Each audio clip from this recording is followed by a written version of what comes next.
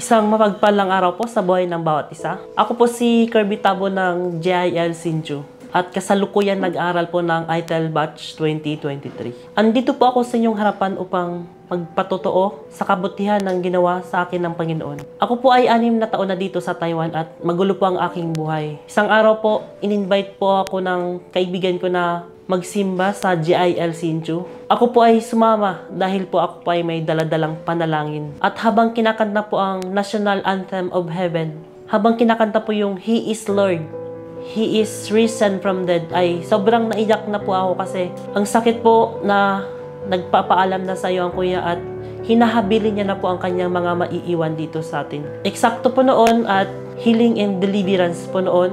Nagpa-altar call po si Pastor Julius at hindi po ako nagdalawang isip na pumunta sa harapan. Yun din po yung time na nag-surrender ako sa ating Panginoon. At doon ko din po nabasa sa John 14.14. You may ask me for anything in my name and I will do it. Pinanghawakan ko po ito kahit anong hilingin ko sa pangalan ng Panginoon ay kanyang ibibigay. Sapagkat gusto ko pong gumaling ang aking kapatid sa kanyang sakit at karamdaman. At pagkatapos po ng service na yun, may announcement po doon na magkakaroon po ng ITEL.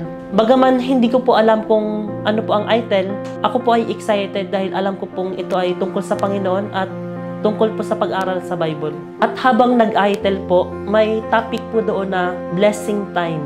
At doon ko din po nalaman ang pagbabalik ng 10% sa ating Panginoon. Hindi ko po may bigay ang 10% sa ating Panginoon dahil po ako po ay paalis na at nag-aantay na lamang po ng visa papuntang Poland.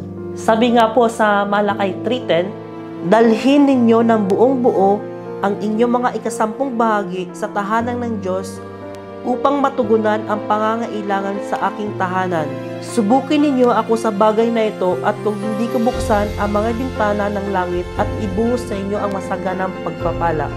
At sinubukan ko nga po ang Panginoon ako po ay nagbalik ng igapo at praise God po dahil makalipas po ang tatlong araw, ang kapatid ko po ay gumaling sa sakit na UTI, ulcer, uric acid at leptospirosis. Hindi na rin po siya magdadialysis dahil sa kanyang sakit na acute kidney disease. At sa ngayon po, ang kuya ko po ay malakas at nakakapagtrabaho na ulit. Ngayon po, ako po ay patuloy na nagiging tapat at naglilingkod sa ating Panginoon.